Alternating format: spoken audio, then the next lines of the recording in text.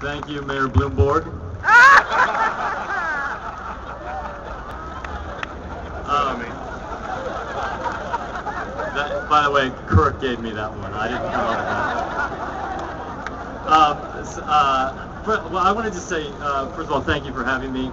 I appreciate being here. You know, I'm sitting back here listening to these uh, folks talk about uh, how service is going to be activated on television, and I was brought here to talk about how it's going to be activated on the web.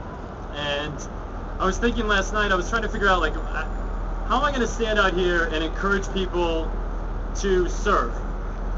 You know, volunteering is, when we really break it down, is working for free. It's like I, I, I mean, I'm thinking last night. I'm like, I gotta go out and tell people, yeah, get excited to go work and not make any money, and get, especially when it's tough to come by money.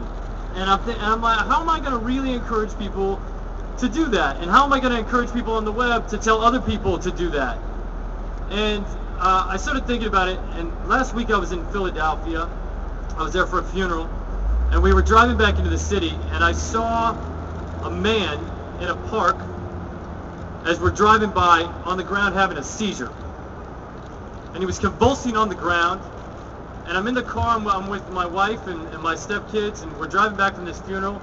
We, we kind of don't know what to do. The man's convulsing on the ground, he's having a seizure. It's, we're playing an epileptic seizure. We, we weren't sure, we didn't know. I'm not a doctor.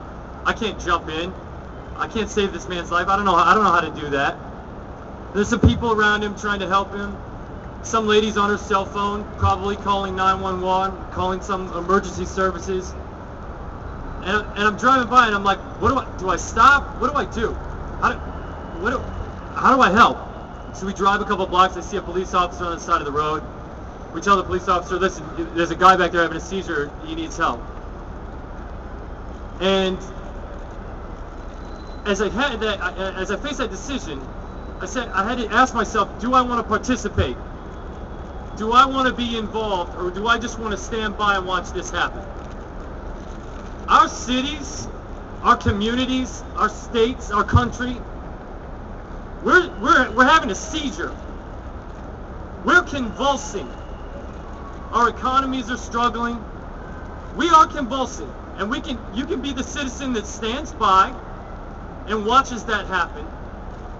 Or you have a choice to be the citizen that participates. And if you're not a doctor, if you can't necessarily do this one particular service or that particular service, you can tell other people to serve. And that's what the social web is. It's an opportunity to rally each other virally, to bring people together behind a cause, behind an effort. And you don't have to be the expert to ask somebody else to participate. I went on iparticipate.org. I was checking it out. It's amazing. You can put in anything that you're good at, and it will give you a service project in your neighborhood. And I was like, I, I, I wanted to test this, right? I like football. I'm a big football fan. I, I helped coach a high school football team in Los Angeles. And so I put in football. Bam. Service opportunities to go coach flag football. Community service mentorship. I put in video games. I like to play video games. Boom. Service opportunities to play video games. Anything you're good at. You don't have to be the doctor. Because the patient the patient needs your help. And the patient's your city, it's your community, it's your state. It's this city, New York. And I'm, I'm proud to be here. I'm honored to be here. And I just want to start the ball rolling because we can actually do this with the web.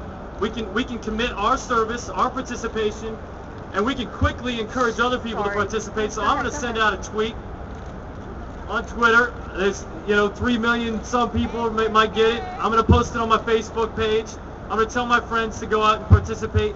I want people to activate their citizenship because it's not enough to stand by and just watch it happen. It's not enough to maybe vote and then watch the politicians take care of stuff.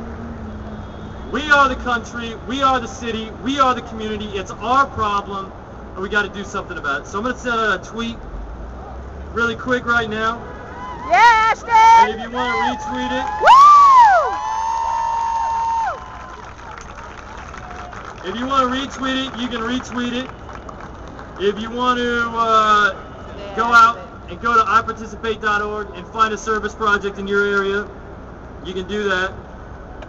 But just don't stand by. Don't stand by. Activate your citizenship. All right. The tweet has been sent. Thank you, guys. Thank you, Mayor Bloomberg. Ashton, thank you for not...